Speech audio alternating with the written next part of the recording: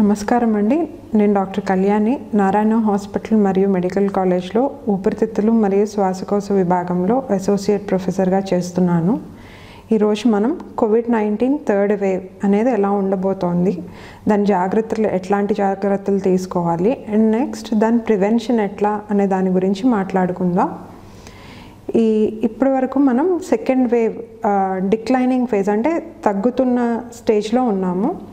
ఏదైనా ఎపిడమిక్స్ కానీ పాండమిక్స్ కానీ వచ్చిన సిచ్యువేషన్లో మనం అది కేసెస్ పెరిగి దగ్ తగ్గేదాన్ని ఒక వేవ్ రూపంలో చెప్పుకోవడం జరుగుతుంది. అట్లాగే మనం ఫస్ట్ వేవ్ చూసాం. లాస్ట్ ఇయర్ ఇదే టైంలో మనం ఫస్ట్ వేవ్ అనేది చూసాము. మన లాక్డౌన్ దా- దానికి తీసుకున్న చర్యల మూలన ఆ ఫస్ట్ వేవ్ అనేది కేసెస్ నెమ్మది నెమ్మదిగా తరిగి తగ్గి ప్లాట్యూ స్టేజ్కి రీచ్ అయింది. అట్లాగే ఇప్పుడు సెకండ్ వేవ్ సెకండ్ వేవ్ వచ్చిన తర్వాత మనం కేసెస్ అనేవి పీక్ మే లెవెన్త్ రీచ్ అయ్యాం. దాని తర్వాత నుంచి నెమ్మదిగా కేసెస్ అనేవి తగ్గడం జరుగుతుంది. ఇప్పుడు మనం సెకండ్ వేవ్ డిక్లైనింగ్ సెకండ్ హాఫ్లో ఉన్నాం మనం. ఈ నెక్స్ట్ మనం ఇప్పుడు ఎందుకు ఇంత థర్డ్ వేవ్ గురించి ఇంత ప్రాధాన్యం ఇవ్వడం జరుగుతుందంటే ఈ సెకండ్ వేవ్లో మనం తీసుకు జాగ్రత్తలు తీసుకోకపోవడం వలన చాలా డిజాస్టరే ఫేస్ చేయవలసి వచ్చింది. ఈ సెకండ్ వేవ్ ఇంత ఉధృతంగా రావడానికి ఫస్ట్ కారణం mutant Um, uh, genetic variation అనేది జరిగింది. ఎన్ని అంటే ఈ కోవిడ్ నైన్టీన్ వైరస్ జన్యుపరంగా కొన్ని మార్పులు జరిగి అది వేగంగా స్ప్రెడ్ అవ్వడం జరిగింది. దాంతో సెకండ్ కాజ్ ఏంటి అంటే మన సొసైటీలో మన జాగ్రత్తలు తీసుకోకపోవడం ఈ social distancing mask and sanitiser ఈ లాక్డౌన్ అనేది తీసేసిన తర్వాత సోషల్ గ్యాదరింగ్స్ అవి పెరిగి మనం ఇవన్నీ పాటించకపోవడం అనేది మెయిన్ రీజన్. అలాగే మనం ఈ దశలోనే తగిన జాగ్రత్తలు తీసుకున్నట్లయితే మనం థర్డ్ వేవ్ మళ్ళీ కేసెస్ పెరిగే టైంకి మనం మనం రెడీగా ఉన్నట్లయితే Um, శానిటైజేషన్ మాస్క్ ఇవన్నీ ధరించి మన ఫ్యామిలీ మెంబర్స్ ఎఫెక్ట్ కాకుండా జాగ్రత్త పడినట్లయితే ఇంత సివియర్ డిసీజ్ అనేది uh, మనం చూడము. దీనికి తీసుకోవాల్సిన జాగ్రత్తలు ఏంటి? అండ్ నెక్స్ట్ ఈ థర్డ్ వేవ్లో వల్ వల్నరబుల్ గ్రూప్ అంటే um, ఎక్కువగా ఎఫెక్ట్ అయ్యే గ్రూప్ ఏ ఏజ్ గ్రూప్ ఇదంతా తెలుసుకుందాం. ఈ థర్డ్ వేవ్ అనేది ఇప్పుడు పిల్లల్లో ఎక్కువగా రావచ్చు అనే ప్రిడిక్షన్ అనేది జరుగుతుంది. అది ఎందుకంటే already half of the people are infected అంటే సగానికి సగం జనాభా ఇప్పుడు ఈ కోవిడ్ ఇన్ఫెక్షన్ మూలన ఇన్ఫెక్ట్ అయి ఉన్నారు.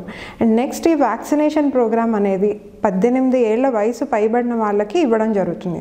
ఇప్పుడు దగ్గర దగ్గర ఒక తొమ్మిది శాతం మందికి మనం ఫస్ట్ డోస్ ఆఫ్ వ్యాక్సిన్ అనేది అందించడం జరిగింది. అట్లాగే టూ డోసెస్ ఆఫ్ వ్యాక్సినేషన్ దగ్గర దగ్గర three to four percent of the population అంటే మూడు నుంచి నాలుగు పర్సెంట్ జనాభా మందికి మనం వ్యాక్సినేషన్ అనేది జరిగింది. సో ఈ టోటల్ కాబట్టి ఈ ఏజ్ గ్రూప్లో వాళ్ళకంటే కూడా ఎక్కువ less than eighteen years age group వాళ్ళే ఎఫెక్ట్ అయ్యే ఛాన్సెస్ ఉంది.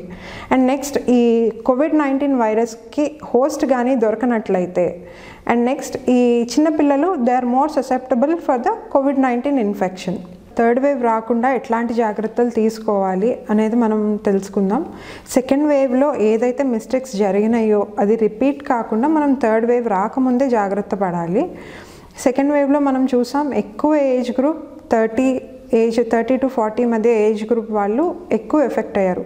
మేబీ దానికి వన్ ఆఫ్ ది రీజన్ బయటకు వెళ్ళి పనులు చూసుకునే ఏజ్ గ్రూప్ అది అయి ఉండొచ్చు. అండ్ నెక్స్ట్ నెగ్లిజెన్స్ అంటే మనం సోషల్ డిస్టెన్సింగ్ అవన్నీ పాటించకపోవడం. అండ్ నెక్స్ట్ సిమ్టమ్స్ వచ్చినప్పుడు వెంటనే రియాక్ట్ అవ్వకపోవడం. లేట్ అయ్యే కొద్దీ మనకి జబ్బు సివియారిటీ అనేది పెరుగుతూ ఉంటుంది. సో ఈ జాగ్రత్తలు ఏమి మనము ఇదవ్వకుండా మనం నెక్స్ట్ థర్డ్ వేవ్ రాకముందే ఇవన్నీ పాటి పాటించినట్లయితే మన వైపు నుంచి దీని ఉధృతి అనేది తగ్గించగలం. దీ తీసుకోవాల్సిన ఫస్ట్ మనం స్టెప్ గెట్ వ్యాక్సినేటెడ్ మీకు దగ్గరలో ఏదైనా వ్యాక్సిన్ కోవిడ్ నైన్టీన్ వ్యాక్సిన్ ఇస్తున్నట్లయితే వెంటనే వెళ్ళి ఫస్ట్ వ్యాక్సినేషన్ అనేది వేయించుకోండి. ఎందుకంటే there is nothing other than vaccination మనం దీన్ని ఎదుర్కోవడానికి వేరే మనకి వేరే మార్గం అనేది లేదు. Just vaccine either we have to get infected or get vaccinated ఈ రెండే ఈ రెండే మనకి మార్గం. అండ్ నెక్స్ట్ మనకి పిల్లల్ని ఎలా కాపాడుకోవాలి? థర్డ్ వేవ్ నుంచి మనం పిల్లల్ని ఎలా కాపాడుకోవాలి? ఫస్ట్ మనం ఇన్ఫెక్ట్ అవ్వకూడదు.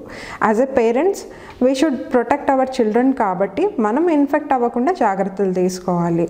అండ్ ఎక్కడికి వెళ్ళినా అదే ఇది దూరంగా ఉండడం నెక్స్ట్ మాస్క్ అనేది ధరించడం ఇంటికి రాగానే పిల్లల దగ్గరికి వెంటనే పోకుండా మనం ఫస్ట్ మనం ఇది శానిటైజ్ అయ్యి తర్వాత వాళ్ళని తీసుకోవడం.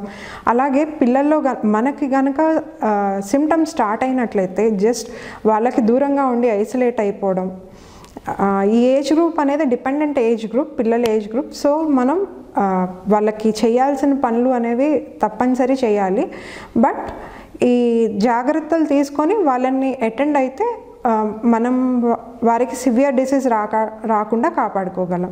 ఇంకొకటి మనం గుర్తుంచుకోవాల్సింది ఏంటంటే పిల్లల్లో అంత సివియర్ డిసీజ్ అనేది ఇప్పటివరకు చూడలేదు. ఎందుకంటే కోవిడ్ నైన్టీన్ వైరస్ లోపలికి ఎంటర్ అవ్వడానికి ఏసీఈ టూ రిసెప్టార్స్ అనేవి అవసరం పడుతుంది. పిల్లల్లో మన స్టడీస్ ప్రకారం ఏంటంటే ఇవి పిల్లల్లో చాలా తక్కువ రిసెప్టార్స్ ఉంటాయి. సో ఈ వైరస్ అనేది మన బాడీ పిల్లల శరీరంలోకి ఎంటర్ అవ్వేది చాలా తక్కువ ఉంటుంది. సో మనం పిల్లల్లో ఎక్కువ మైల్డ్ డిసీజ్ అనేది చూస్తున్నాం. నెక్స్ట్ మనకి ఈ మ్యుటేంట్ ఎలా మారుతుంది? మ్యుటేషన్ కొత్త మ్యుటేషన్ జర జరిగే అవకాశం ఉండొచ్చు. నెక్స్ట్ అప్పుడు ఎట్లా ఉంటుంది పిల్లల్లో అనేది మనం ఈ రోజే డిసైడ్ చేయలేము. సో ఆ సిచ్యువేషన్ రాకముందే మనం జాగ్రత్త పడాలి. అండ్ నెక్స్ట్ పిల్లల్లో వ్యాక్సినేషన్ అనేది ఎంతవరకు వచ్చింది? ఇప్పుడు మనకి దొరికే వ్యాక్సిన్స్ అన్ని more than eighteen years age గ్రూప్లో వాళ్ళకి అందించడం జరుగుతుంది. మరి పిల్లల్లో ఏ స్టేజ్లో ఉంది? ఏ దశలో దాని ఇది రీసెర్చ్ అనేది ఏ దశలో ఉంది అంటే ఫస్ట్ మనకి వ్యాక్సి పిల్లల్లో వ్యాక్సినేషన్ అనేవి త్రీ కంపెనీస్ అనేవి చేయడం జరుగుతుంది జరిగిందండి. First is Pfizer vaccine Pfizer vaccine third trial అంటే క్లినికల్ థర్డ్ స్టేజ్లో ఆఫ్ ది ట్రయల్లో ఉంది. అండ్ ఇట్ క అది కూడా పూర్తయిపోయింది. And it is hundred percent effective పిల్లల్లో అది హండ్రెడ్ పర్సెంట్ ఎఫెక్టివ్ అని చెప్పడం జరిగింది. And next is Moderna vaccine. Moderna company దీని నుంచి కూడా వ్యాక్సిన్ అనేది it is in second phase of the trial. రెండో దశలో ఉంది. నెక్స్ట్ థర్డ్ దశ రెండో దశ వరకు దాని ఇది ఎఫెక్టివ్నెస్ బా బాగానే ఉంది. Next it has to go into the third phase of the trial next మన భారతదేశంలో బై భారత్ బయోటెక్ వారి వ్యాక్సిన్ పిల్లలు less than eighteen years group పిల్లలు six months to eighteen years మధ్య పిల్లల్లో ఇది ట్రయల్స్ అనేవి స్టార్ట్ అవ్వబోతున్నాయి.